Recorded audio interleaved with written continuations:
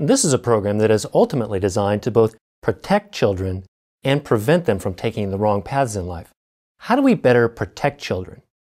That's precisely what this program is about the protection of children. In the context of authoritative parenting, parents are vigilant about where their children are. They're vigilant about forming their children in impulse control. They're vigilant about where their children are, who they are with, what they are doing. That protects children.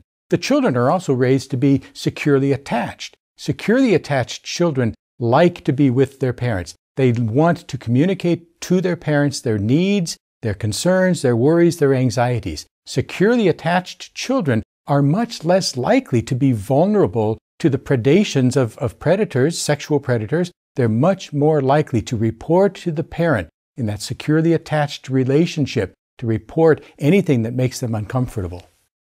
What about prevention? Prevention is twofold. Children are prevented from becoming either bullies or victims. We saw how they prevented from becoming victims because they have a secure attachment to their parents, an attachment that's developed in the very early years of a child's life. These securely attached children are much less vulnerable to manipulation, they're much more secure, they are much less vulnerable to the deceptive practices of those who would prey upon them. They are kept safe, abuse of them is prevented.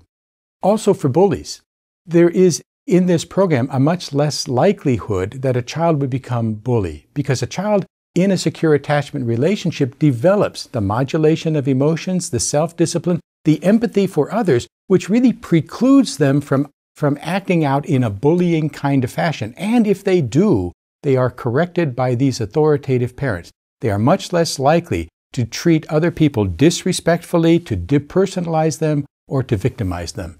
It's preventative.